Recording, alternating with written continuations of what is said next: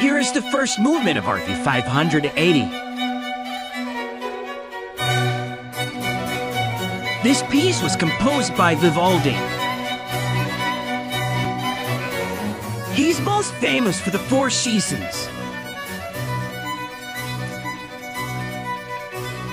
Antonio Vivaldi was known as the Red Priest for his red hair. He was born on the 4th of March, 1678.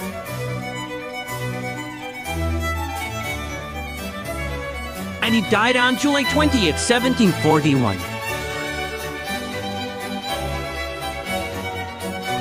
That was exactly nine years before Bach died. His songs remind me of my future.